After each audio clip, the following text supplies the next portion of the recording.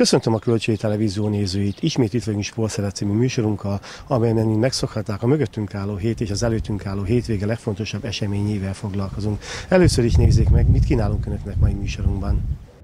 Hosszabbítás után kaptak ki az oroszlánytól a kék cápák. 3-3-as döntetlent játszott a Várcala kisvárdai futballcsapat. Kettős győzelemmel jutott az elődöntőbe a Nyíregyházi kosársuli. A válogatott csapatvezetőjeként ér vissza a röplabdához Veres Péter. Éremért utaznak az országos döntőre a Nyíregyházi fiú junior kosarasok.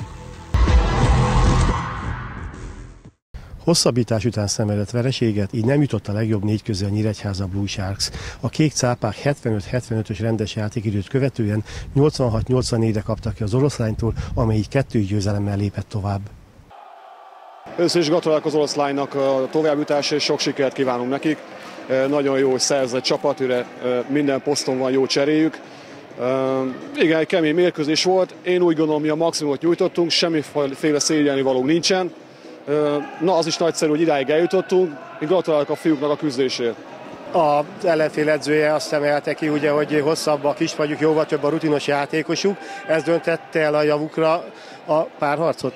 Természetesen nyilván ők hosszabb kispar rendelkeznek, ezt mondtam is, hogy sok erős játékos van náluk. De még így is egál meccset játszottunk velük Kis, kis dolgokon múlott az egész, de gratulálok még egyszer a csapatónak, mert nagyon-nagyon hősiesen küzdött és végigjátszott. Ezek a meccsek arra mindenképp jók, hogy fejlődjenek, tanuljanak a fiatalok. Az 5.-8. helyet is lesznek mérkőzések. Mennyire lesz nehéz ezek után motiválni a srácokat, hiszen tényleg csak egy hajszálon múlott a harmadik meccs lehetősége? Én úgy gondolom, hogy ezt hozzá vannak szokva. Mindig fel tudtunk állni, amikor kikaptunk egy mérkőzésen. Ugye úgy, úgy mint a múlt héten is kikaptunk, és mégis jól meccset, meccset játszottunk. Nincsen ezzel semmi probléma, megyünk tovább és edzünk és játszunk. Harmadszor találkozott a két csapat, hozott-e valamilyen meglepetést ez a mérkőzés? Igazából meglepetés nem okozott, én úgy gondolom, eljátszottunk három meccset, egymás ellen fel is volt készítve mind a két csapat a végletekig. Azt gondolom, a hosszabb padunk győzött, illetve a, a, nekünk ez a Help Cup, ez nagyon értékes volt olyan szempontból, hogy ott nagyon gödörben volt a csapat, a mi szempontunkból egyáltalán nem volt releváns, viszont minden erősségét a Nyíregyházának megmutatta, úgyhogy ez a mérkőzés arra tökéletes volt, hogy fel tudjuk maximálisan készülni az erősségeiből. Ezen a mérkőzésen mi döntött, ugye egy kosár két pont, de mégis mi döntött az oroszlány javára, hiszen a Nyíregyháza kezdett jobban, aztán nagyon sokáig vezetett az oroszlány, a végén pedig felváltva vezettek a csapatok. Igen, hát ott kezdődik, hogy tudtuk, hogy a Nyíregyháza mindig erősen kezdi összes mérkőzését. Rövidebb pad miatt, hogy ne is fáradjanak el a végére, kevesebb faltot tudnak használni. Nagyon fontos nekik, hogy az elején komoly előnyt építsenek, ahogy a bajnokságban ezt többször is megtették, és mégis szoros lett a, a rangadóiknak a nagy része. E, próbáltuk ezt elkerülni, egyik mérkőzésen sem sikerült, viszont úgy gondolom, hogy jóval hosszabb a rotációnk és több a rutinos játékosunk, ami ilyen szituációban döntő, és mind a két mérkőzésen az első negyed lazább játéka után be tudtunk keményedni, sokkal agresszívak tudtunk lenni támadás védekezésben, és főleg ez a más, az első mérkőzésen azt használtuk ki nagyon jó, hogy kevesen vannak, és sok faltot kell, hogy használjanak, ami viszont, amit viszont nem tudnak.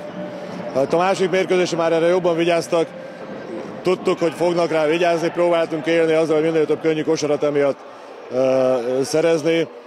Az, amikor megnyerhetük volna a mérkőzést, sajnos egy-két butaság, egyéni eskedés visszahozta az ellenfelet, illetve ahogy lenni szokott, a mi butaságainkból ők vérszemet kaptak, betaláltak kintről, és egyből visszajöttek a mérkőzésbe. Ennek ellenére a végjátékot ugyanúgy, mint a hazai mérkőzésen a, a rutin döntött el. A, a differencia az volt, hogy idegenben tudtuk, hogy 20 ponttal jobban kell lenni, mint hazai pályán. Megmondtam a srácoknak, és így is történt, hogy nem maradhat benne egy fal sem. Tehát az összeset el kell használni, lesz, ami lesz. Szerencsére jól sült el. Egy játékos számára minden vereség fáj, egy hosszabbítás után elvesztett meccs, gondolom különösen fájó. Hogyan éltenek belőle lesz a meccsen, mi döntött az oroszlán javára? Nehéz mit mondani egy ilyen vereség után, csak úgy, mint meg annyi legutóbbi találkozónkon nagyon jól kezdtünk az elején, megint 10 pont feletti előre tettünk szert, várható volt, hogy az oroszlány fel fog zárkózni, Félidőig egy egál meccs volt, második félidőben kicsit elléptek tőlünk, akkor védekezést váltottunk, és a 3-2-es zónánk működött is helye közel. Támadásban kicsit döcögött a játék, de harcoltunk, küzdöttünk, megtaláltuk a pontokat. hosszabbításra mentettük a, a mérkőzést, ahol igazából már folt gondokkal küzdöttünk a második félidő eleje óta. Nem is nagyon tudok mit mondani, egy labdás mérkőzés volt, sajnos sok büntetőt, köztük én is sok büntetőt hagytam ki. Talán, ha jobb százalékkal dobjuk azokat, vagy a végén az ittszerek becsorognak, nem pedig ki, akkor mi hagytuk volna győztesen a találkozót, de ez ha, és tovább kell mennünk fel a fejjel, és várni az ellenfelet a Debrecen MTK találkozóról, és gratulálok az oroszlánynak, mert megérdemelten nyertek. Kétszer is vezetett két góla, végül 3-3-as döntettent játszott a Vász vendégeként a kisvárdai futballcsapat. Révész Attila együttese az így szerzett egy ponttal is megerősítette második helyét az NB2 tabelláján. Szerintem mindenki inkább csalódott, hogy ott hagytunk két pontot ugye Dunói-városba. Hát a játék képe az nem ezt sugalta, biztos győzelemnek tűnt, azonban figyelmetlenek voltunk, és hát ez a döntetlent eredményezte sajnos. Nagyon kevés gólt kapott a csapat a bajnokságban is, és tavasszal is, most viszont hármat kaptatok, bár aki látta a mérkőzés elmondhatja, hogy talán a három közül nem is egy volt szerencsésnek mondható. Nem is tudom, hogy mikor kapott a csapat utoljára ennyi gólt igazából, ugye ott kezdődött az egész, hogy volt egy lecsúszott beadása az egyik játékosnak, és onnantól kezdve pedig igazából borult a dominó. Én azt gondolom, hogy ha rendezzük a sorokat, akkor ilyen többet nem fordul elő és, és tartjuk a célt. Ami viszont pozitívum, hogy még ezzel az egy ponttal is meg tudtátok erősíteni a második helyeteket, és tovább nyújtottátok a tavaszi veretlenségi sorozatot.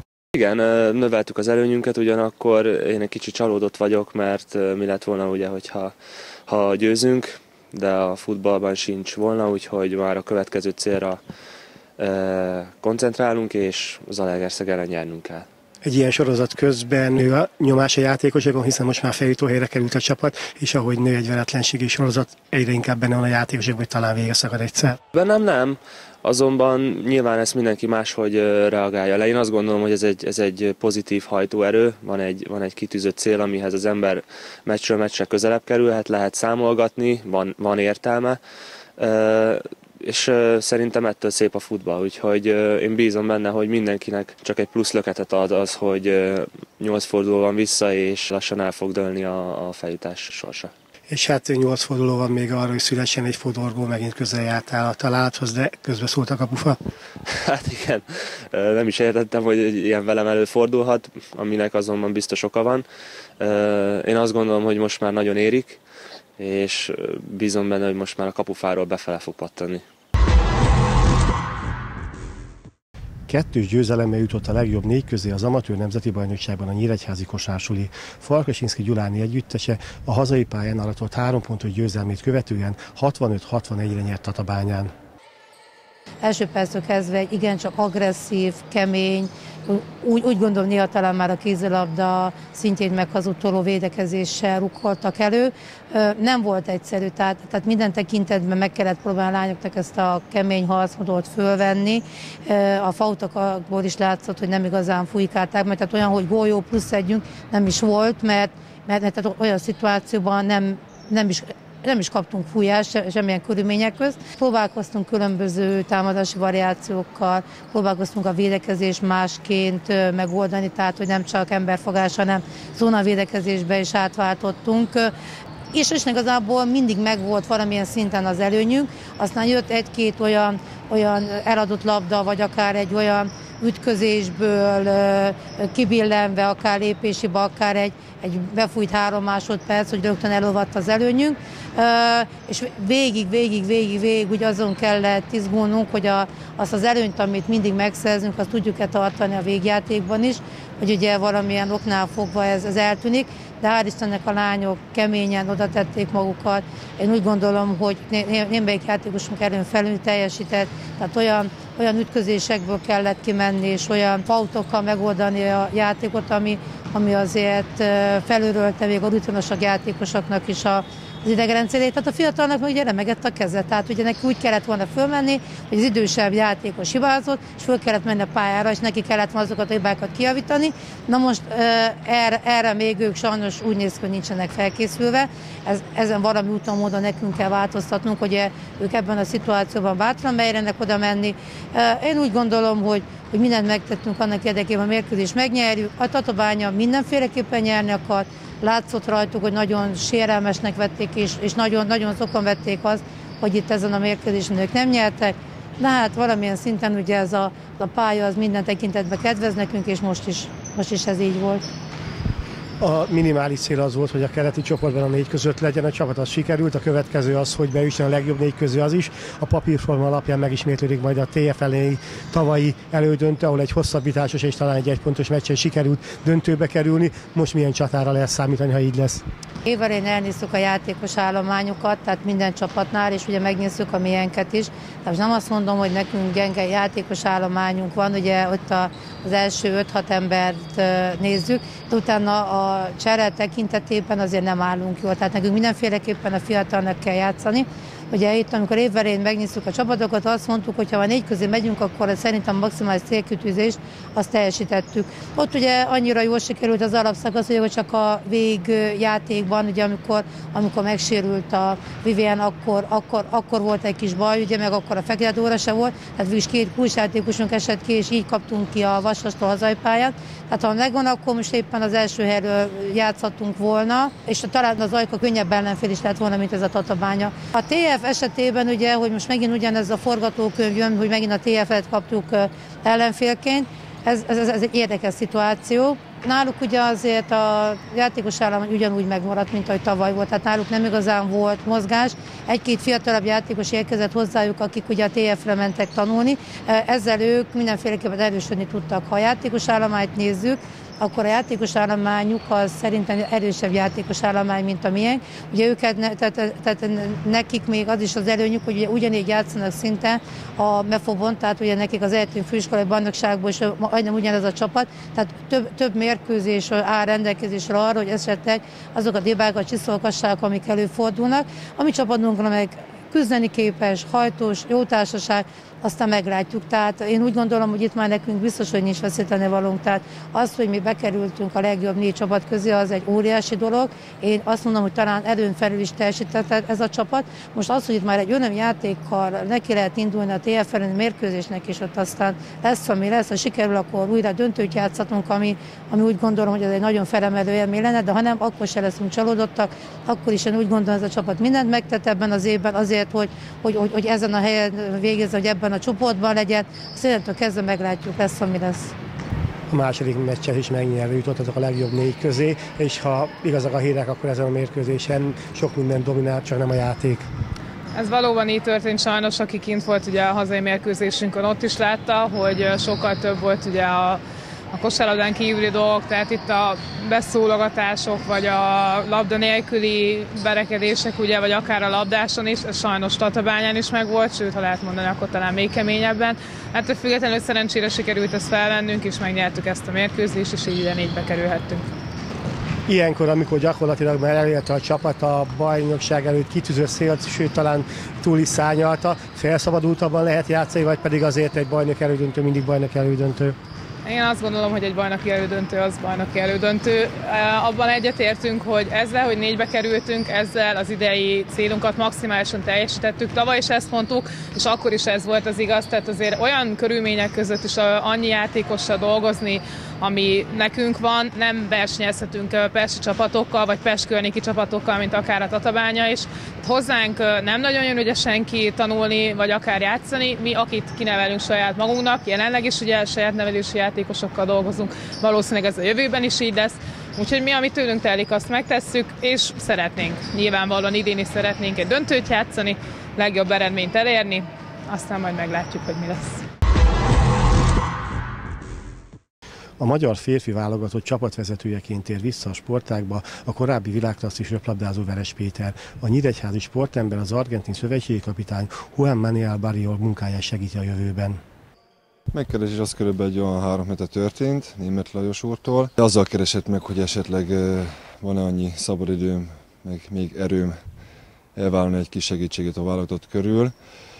Azt mondtam neki, hogy adjuk már egy pár nap gondolkodási időt, mert ugyebár nekem a magánétemben is történtek változások, és át kell beszélnem otthon. Amennyiben minden meg tudunk otthon beszélni, akkor semmi akadály nagyon szívesen. Mi lesz a feladatod konkrétan? Engem annak idején megkeresett az edző, hogy szeretné, hogyha edzésen segítenék neki, mint edzőként, tolmácsolásban, a játékosokkal külön foglalkozni. Gondolom ezáltal a szövetség kapott az alkalman, és csapat mellé úgy is kell egy vezető, tehát nekem a hivatalos titulusom az egy csapatvezető. Klub szinten nagyon szép sikereket értél el, több mint 15 évig voltál légiós, viszont válogatottban talán elmaradtak azok az eredmények, amit vártak volna a szurkolók, pedig volt egy időszak, amikor több játékos játszott külföldi jegyzett bajnokságokban. Van benned emiatt hiányérzet? Természetesen van, mert szerintem minden sportolónak az, hogy felhúzza a címeres mezt, az eleve egy nagy sikerélmény, kiváltságot jelent. Sajnos nekem nem sikerült ezt pozitív irányba úgy értem, hogy eredményt elérni. Nem tudom, most ezzel a lehetőséggel mindenképp élek, megpróbálok, amit tőlem telhetőt segíteni, úgy edzésem, mint pályán kívül. Úgy gondolom, hogy még ennek a válogatottnak még nincsen meg a nagy esélye, hogy szép eredményeket elérjen, de ha szépen felépítjük, egy új stáb van most a válogatott körül, akkor egy pár év munka után szerintem megérhet a gyümölcs. Mekkora mélységből meríthet a válogatott szövetségi kapitány? Ugye a női csapat két Európa bajnokságra jutott ki zsinórban, a férfiak nagyon régen voltak kontinens tornán. Ha jól emlékszem, pontosan 2001-2002-ben voltunk. Sok fiatal játékos van, tehetséges, sajnos elég szomorú, hogy Magyarországon már röplabda nem annyira híres felkapó sportál, mint ezelőtt 20-30 évvel. Sajnos meg vagyunk kötve azzal, hogy van egy 60-70 fős játékos állomány, amiből ki kell válogatni egy szűk keretet, azokkal valamit építeni, és a jövőben bízva bízva az eredményeket várjuk. Megvan-e már konkrét, hogy milyen lesz a nyári program? Elsősorban kezdünk egy felkészüléssel április 25-én Dunajvárosba, ott lesz egy 3 es edzőtábor, utána megyünk ki május végén Észtországba egy VB selejtezőre, és nagy örömömre kaptam egy olyan információt, hogy júniusban várható itt lesz Nyíregyházán, itt fog felkészülni az Euróligára, és a június közepén, ami jön egy hétvége, ráadásul itt lesz egy forló. Sajnos már nem játékosként, de legalább mégis a válogatott mellett valamilyen címben tudok szerepelni itthon. Éremért utazik a Debreceni országos döntőre a Nyíregyházi fiú junior kosárlabda csapat. Pető Ákos együttese a csoportmeccseken a Budapesti Honvéd, a Szombathely és a Vasas Akadémia ellen lép pályára. Úgy érzem, hogy a csapat jó formában van, remélem az jövő ki is fog tartani, nem akarjuk túl hamar időzíteni a csúcsformát. Az ellenfeleket tekintve mindenkivel játszottunk már ez az újfajta lebonyolításnak ez a sajátossága, hogy úgymond ismeretlen ellenfél nem nagyon, nem nagyon jöhet szembe. A célunk a egyértelműen négy közé szeretnénk bekerülni, és ott már bármi lehet, ugyanúgy, mint tavaly a kadett korosztályban ugyanígy indultunk neki, és sikerült éremmel zárni, bízunk ebben idén is. Mekkora előnyt jelent az, hogy a csapattagjai közül ebben a szezonban többen is rendszeresen játszottak a felnőtt meccseken? Nagy előny, Fazekas Sabin egyértelműen lehet érezni, hiszen mindig húzó embere volt a csapatnak, de idén úgy érzem, hogy szintet tudott még ebben is lépni, illetve a többiek is egyértelműen lehet érezni, hogy stabil teljesítményt tudnak nyújtani és kiegyensúlyozottan tudnak játszani. Mi az erőssége a csapatnak? Gondolok itt védekezésre, támadásra, összeszokottságra. Azt mondom, hogy nagyon jó szerkezetű csapatunk van, hiszen mezőnyposztokon is Fazagasavi, Mokánszki, Máté személyében közel két méteres emberek vannak, illetve azt mondom, hogy 7-8 emberes rotáció, tehát nagy, nagy variálhatóság van a csapaton belül négy nap alatt öt mérkőzést kell játszani, jelentheti ez gondot, hiszen azért napi kettőt ezzenek a legtöbben a srácok. Fizikálisan szerintem nem, itt a mentális dolgokat kell majd rendbe tenni, de ezt is a fiúk szerintem ezt is el fogják bírni, illetve oda fogunk rájuk figyelni. Tavaly a kadett döntőn, ami szintén Debrecenben volt, nagyon sok nyíregyházi szurkoló volt, ott számítottak-e most is a segítségükre? Igen, nagyon örülök neki, hogy ilyen közeli helyszínen sikerült megrendezni, és szeretettel várunk minden szurkolót, mert el fog kérni a bíztatásuk. Te tavaly tagja volt annak a csapatnak, amelyik ezüstérmes lett a kadett országos bajnokság. Most a helyszín ugyanaz, viszont junior korosztály. Milyen formában várjátok a tornát, és mivel lennél elégedett? Nagyon jó erőben van a csapat, most, most igaz teljes létszámmal tudunk menni, mert mindig volt egy sérültünk, vagy Csabi, vagy egy másik srác volt sérült, úgyhogy most teljes csapaterővel tudunk menni, úgyhogy bízzuk a legjobbakat, próbálunk minél jobb eredményt elérni, és megpróbálunk megnyerni. Mennyi segít az, hogy egész szezonban a felnőttekkel edzettek többen is, és játszotok is rendszeresen? Nyilván nagyobb rutin tudunk ezzel szerezni, akár játszunk, akár nem, de ott tudunk lenni szinte minden felnőtt meccsen, benne tudunk lenni a játékban, bele tudunk szagolni úgymond a egésznek a, a légkörébe, nagyobb hangulat, jobbak a körülmények, nyilván ez egy nagyobb erőt tud nekünk adni, és magabiztosabbak is tudunk lenni pályán, úgyhogy szerintem ez abszolút egy jó lehet érezni az ellenfeleken azt, hogy tartanak emiatt esetleg tőletek. Gyakorlatilag mindenkit megvertetek, legalább egyszer kivéve a Sopron, de talán azon a meccseken hiányzott Fazekas Csaba, aki abszolút meghatározó játékosotok. Nem tudom, hogy félnek-e tőlünk, de hát biztos, biztos tartanak tőlünk, hogy több játékosunk is ott van a felnőttbe. Nyilván egy picit ez bennük van, hogy mégiscsak azért ott edzünk, hiába tudják, hogy mire vagyunk képesek, de azért nyilván egy, egy másabb dolog, hogy most mi itt vagyunk csak felnőttbe az újfajta lebonyításnak köszönhetően minden ellenféle játszottatok már, akik ellen pályára léptek majd a junior országos döntőben. Hogy érzed, milyen esélyekkel vágtok neki a négy napos tornának? Úgy gondolom, hogy jó eséllyel vágtunk neki, mivel a csapat nagyon egybe van. Az ellenfelek ellen minimum kétszer már játszottunk, ismerjük őket, és úgy gondolom nincs, akitől félnünk kelljen. Mi az erőségetek? Minden poszton van jó emberünk, úgy palánk alatt, mint mezőnyben. Mire lennél elégedett? Gondolom, hogy egy érmet meg fogunk tudni szerezni. Már most is játszanak Kárpátaljáról érkezett focisták a kisvárdai futballcsapatban, de a jövőben még szorosabb lesz az együttműködés. A klub ugyanis megállapodást kötött a Munkás FC-vel. A MLS kötelezte az egyesületeket, a profi klubokat, hogy fiatal játékosokat tegyenek be a csapatba, és ezzel premizálja őket. Na most a mi lehetőségünk a földrajzi helyzetünk miatt ezt megkívánta, hogy elsősorban a határnak a túloldalán, akár Szlovákia, akár ugye szlovákai felvidéki magyarok, illetve a kárpátaljai magyarok vonatkozásában szétnévzen, és olyan partnerek találtunk kint, akik fogékonyak voltak erre. Kint azért a háborús helyzet miatt nagyon-nagyon megszűnt létezni, sajnos ezt kell mondjam, az utánpótlás futball, és ezt mi szeretnénk támogatni, és szeretnénk természetesen kihasználni. Hát egy olyan, olyan ö, koncepcióval léptünk az MLS elé, illetve a kormány elé, amely befogadásra talált, és a kinti magyar felmenőkkel rendelkező gyerekeket már az MB2-es őszi bajnokságunk során is csapatunkba sorítottuk. Ez a kapcsolat pedig eljutott odáig, hogy később a kormány érezte ezt, illetve van azért egy olyan program is, amely a határon túli játékosokat tulajdonképpen összefogja. Ez vonatkozik a szlovákiai, a romániai, erdélyi magyarokra, ugye, és még a, a régi tagköztársaság jugoszláv államokból, és akkor mi megkaptuk a, a Kárpátalját, és bizony már több játékost, akár iskolában, akár a, a, az Egyesületünkhöz is áthívtunk. Természetesen ez az akadémia, ez nem működhetne, hogyha kint nem lennének megfelelő partnereink. A kinti irányítást azt ők fogják végezni, a magyar kormány ezt jelentős összeggel támogatja, működési támogatást, illetve beruházási infrastruktúrális fejlesztésre való támogatást is kaptunk mi az ellenőrzésbe, illetve az együttműködésben fogunk majd ebből a programból részt kapni, de nyilván a legfontosabb, hogy olyan játékosokat találjunk, akik később adott esetben a magyar válogatottig is el tudnak jutni. Kint azért a motiváció teljesen más, kint még ez a számítógépes világ, ami itt van, az még nem él, ott még megvan a futball szeretete, sokkal inkább, mint a magyar játékosoknál, és a motivációs bázisuk is lényegesen erősebb, mint a mieinknél. Ezt a kettőt szeretnénk vegyíteni, szeretnénk ötvözni.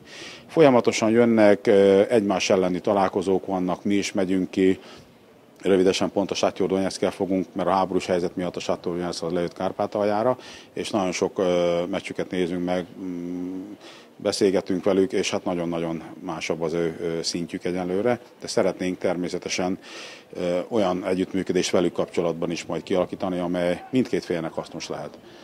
Szeretnénk egy olyan bázis létrehozni kint, amely lehetővé teszi, hogy ilyen rangos csapat is, mint a Donetsk, edzőtáborozhasson. Megvan a koncepciónk, megvan a, a határozat, a tervezési fázisban vannak a dolgok. Én bízom benne, hogy egy éven belül el tudunk kint felmutatni, amely példaértékű lehet, és ami legfontosabb, hogy a kinti partnerekkel sikerül olyan hálózatot létrehozni, amely az egész Kárpátaljára, adott esetben még Ukrajnába is kiterjed, mert ott is vannak tehetségek, és be tudjuk hozni, be tudjuk majd integrálni, iskolába tudjuk őket ide járatni, magyarul tudjuk tanítani, és Ez a kettő kultúra és stílus különbség egy olyan fajta erőt is jelenthet majd a várdai labdarúgóknak, amelyben hosszú távon meg tudja oldani adott esetben a felnőtt labdarúgást, illetve azt gondolom, hogy még, még a megyébe, illetve a szomszédos megyékben is fogunk tudni majd találni közülük játékosokat, és remélem, hogy ez néhány éven belül visszaköszön a felnőtt csapatnál.